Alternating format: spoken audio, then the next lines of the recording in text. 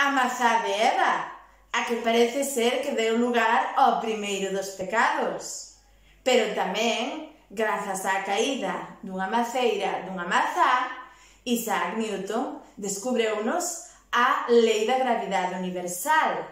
a mazá vermella brilante da Brancaneves, que estaba envelenada pola bruxa malvada ruín. Pero non só estas mazás nos sirven para explicar moitas cousas. E hoxe non hai quen se resista, imos pecar coa ciencia da mazá. Dadelle porque comezamos! ¡Am!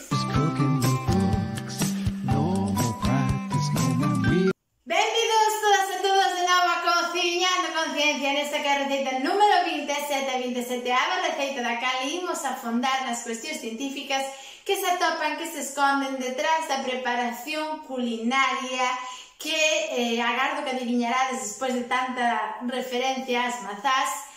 que non diría enxebre, senón diría propia da gastronomía máis popular, máis tradicional, máis ancestral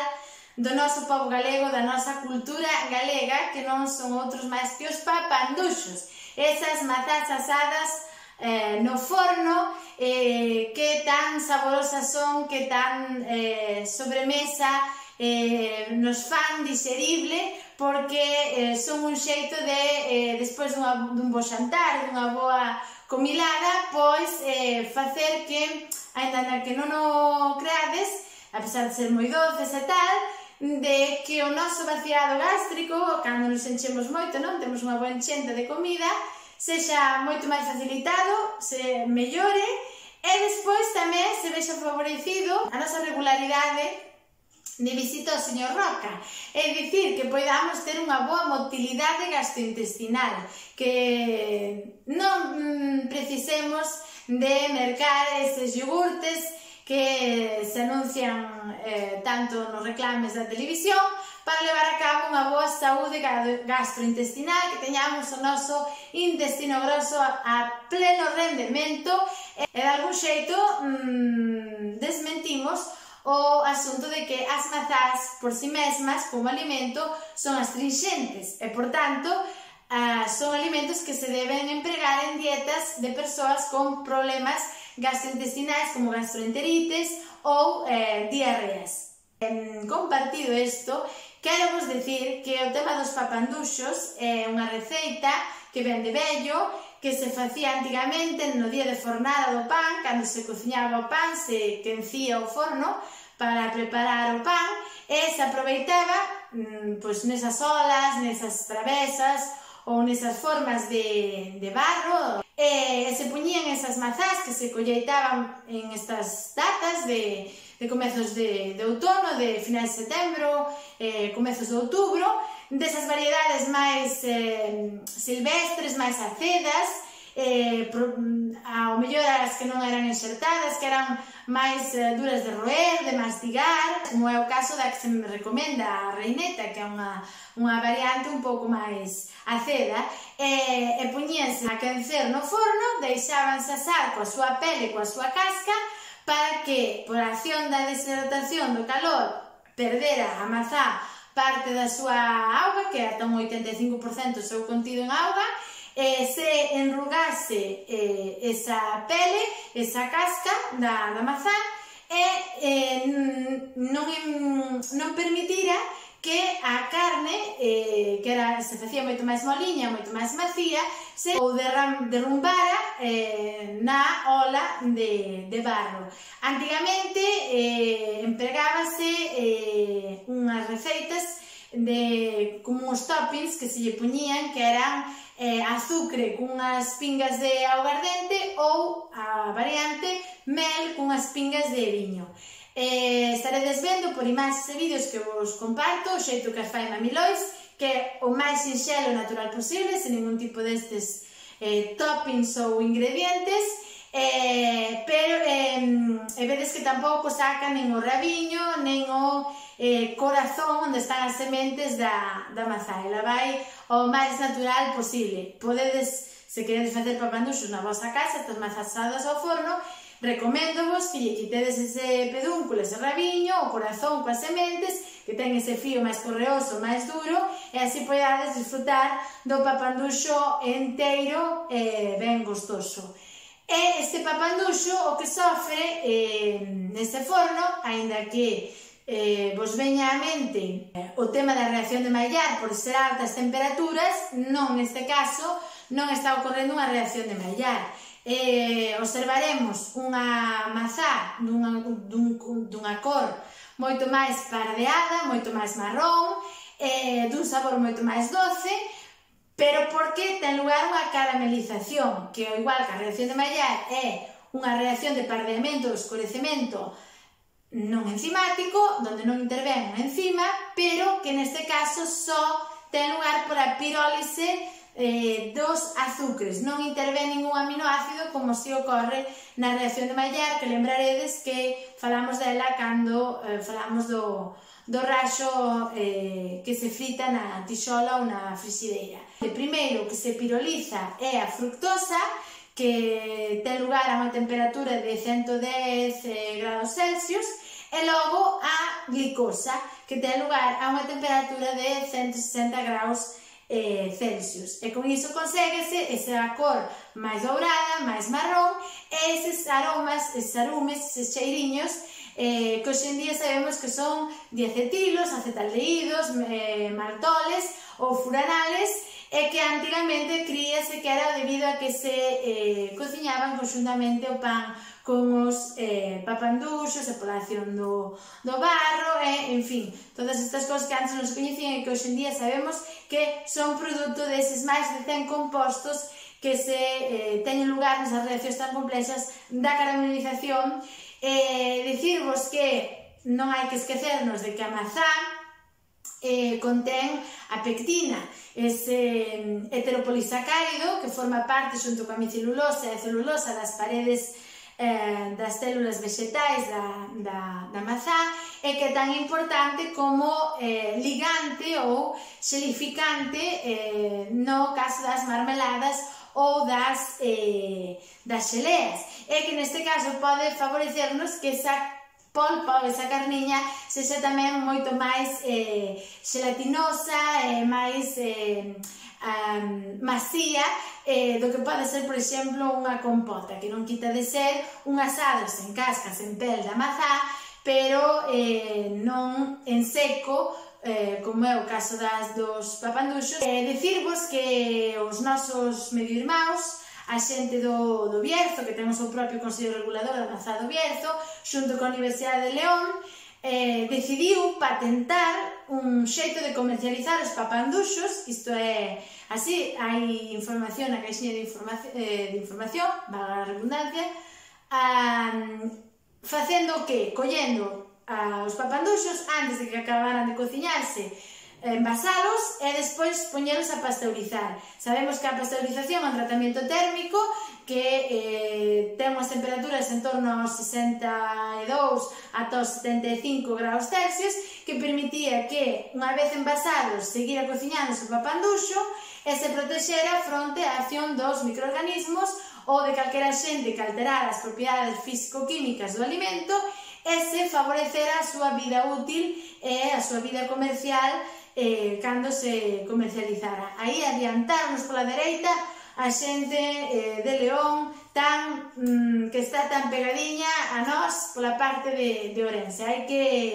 botarlle máis ollo ao asunto que estamos perdendo cousas interesantes. Eh, quería rematar este vídeo comentándovos eh, tres cousiñas a modo de curiosidade. A primeira delas é que podemos decir que eh, para o mundo da xeoloxía existe unha teoría dos papanduxos na hora de formación da, das, uh,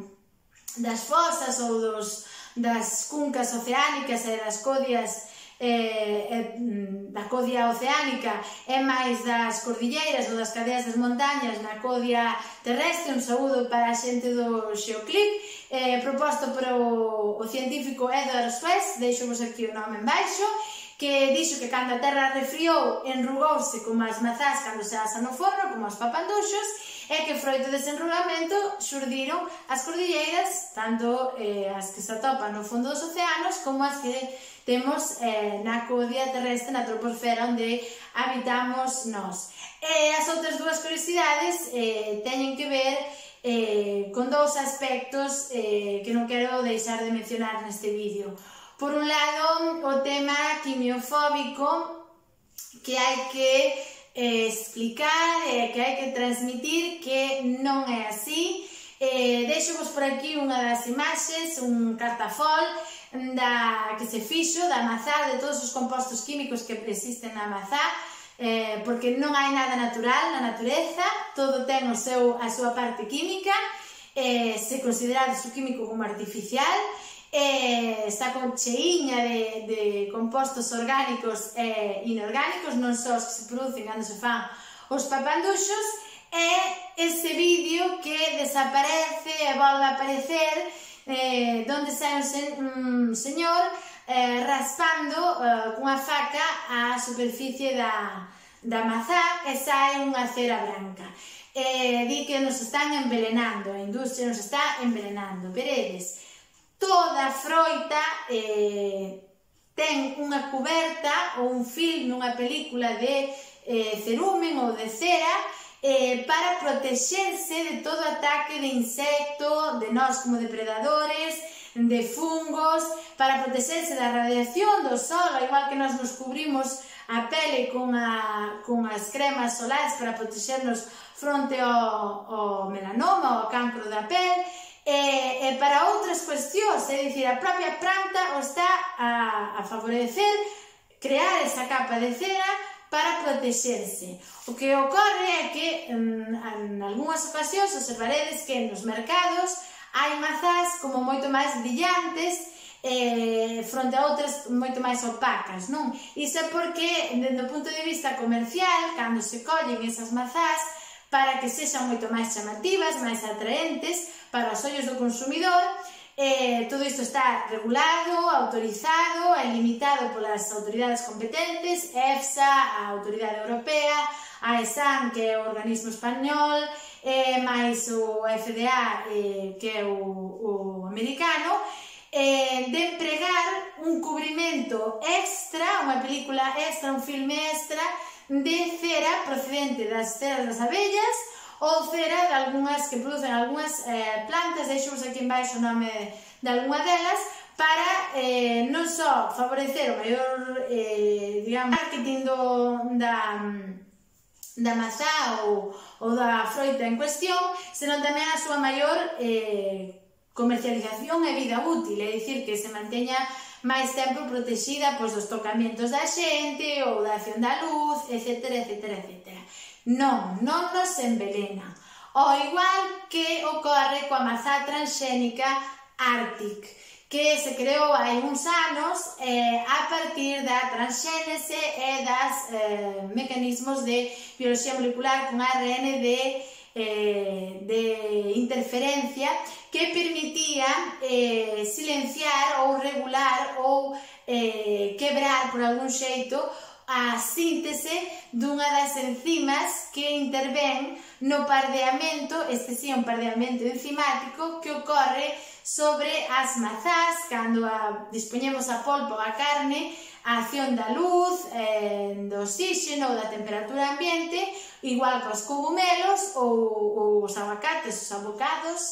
eh, que sabemos que se os deixamos a un anaco de tempo a acción da luz, a temperatura ou do oxígeno, quedan máis pardos, máis escuros, eh, máis marrons e, resultan un pouco noxentos, non desagradables. Pois eh, a encargada de levar a cabo isto é a polifenol oxidasa. É esa enzima con esa transxénese e ese tratamento con ARN de interferencia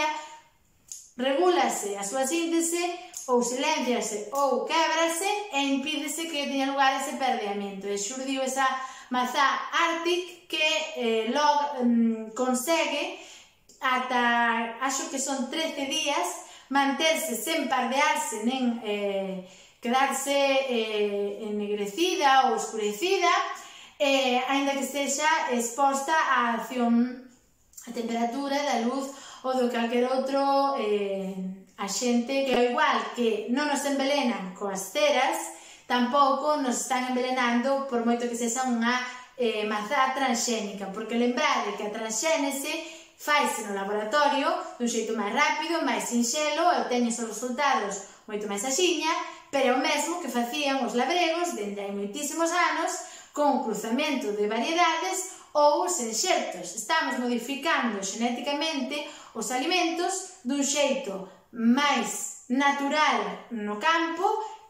que é o mesmo co artificial na, no laboratorio. Por iso, o cartafol, para que vexades que a mazá é natural, porque só ten a maceira, pero está che de compostos orgánicos e inorgánicos que podemos sintetizar artificialmente no laboratorio. É dicir, o natural como tal non existe, e non, a industria alimentaria non nos envelena, porque o que quere é que merquemos O interese é que merquemos, merquemos e merquemos. E o maior interese que ten é que nos ofreza alimentos seguros, que non nos envelenen, nos maten. Outra cousa é que sexan sans, que iso xa é para